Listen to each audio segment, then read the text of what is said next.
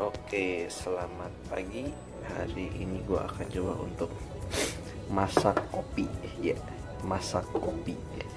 Jadi ini alat giling gue.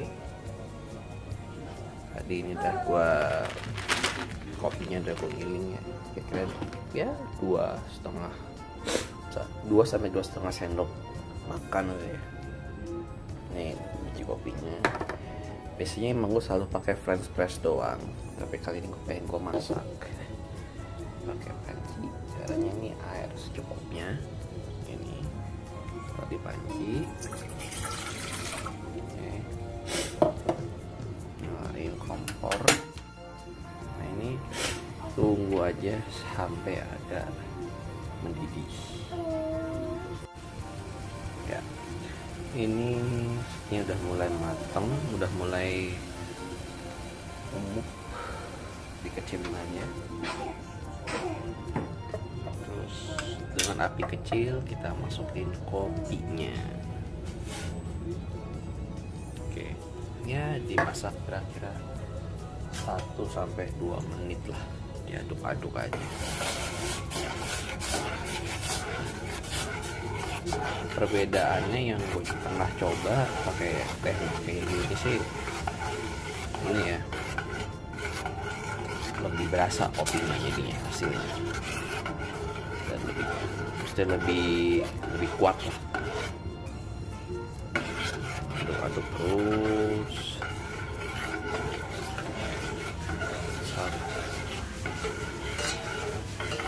aduk terus sebenarnya sih nggak harus sampai satu satu sampai dua menit sih. Kadang juga ya sekitar 30 detik juga udah cukup. Karena kan panas ya. Api nyala. Api nyala. Kira-kira sampai semua kopinya tercampur aja sih.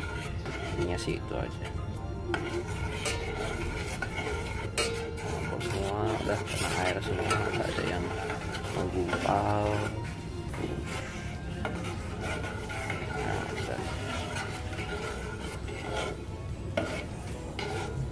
Garis keras tanpa gula nah, cukup loh berapa lama tuh kayaknya tuh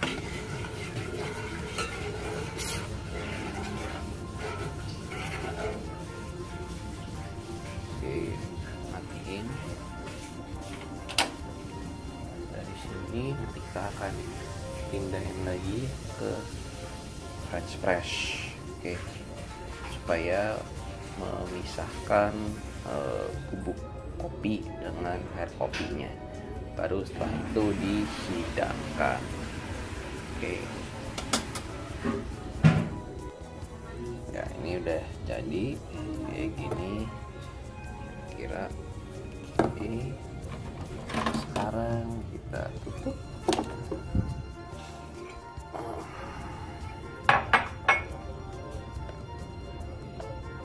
Fresh oke.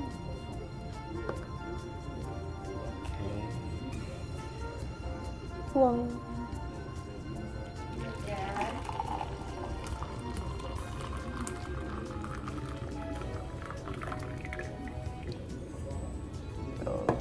Lagi rekam disengin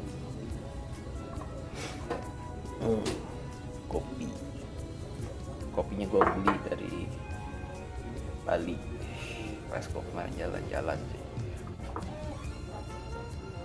Tapi enak dengan cara masak gitu sih menurut gue. Boleh dicoba silakan. Terima kasih